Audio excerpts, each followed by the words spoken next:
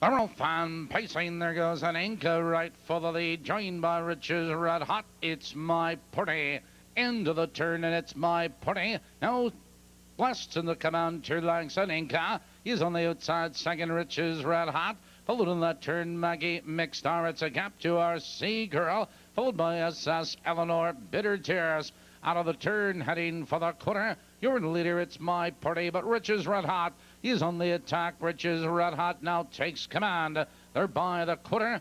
29 and 2 Riches Red Hot leads now by two lengths. It's my party. Is second and moving right out of second. On Ninka in third. Two lengths back to Maggie Mixstar, followed by RC Girl, SS Eleanor, and Bitter Tears. Your new leader, it's my party.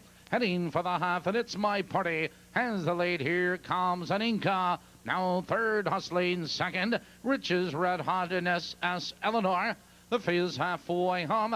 A minute flat, it's my party. Leans into the clubhouse turn, Riches Red Hot. Right there in second, an Inca SS Eleanor. Maggie McStar needs racing room. Bitter Tears and our Sea Girl out of the turn. Now they curve into the box. Stretch and it's my party. Leads the way on Inca. He's on the attack on the outside. Riches red hot as SS Eleanor and Bitter Tears. Midway up the back stretch, it's a battle for the lead. It's my party is on the inside and Inca alongside three quarters. 132 and 1 into the far turn, and four horses are across the track as SS Eleanor now powers on by, but Bitter Tears moves right with her around the final turn. SS Eleanor and Bitter Tears, here they come, turning for home, and SS Eleanor has the lead and neck.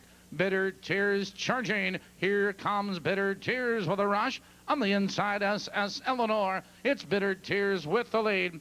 Bitter Tears, SS Eleanor, and Riches Red Hot.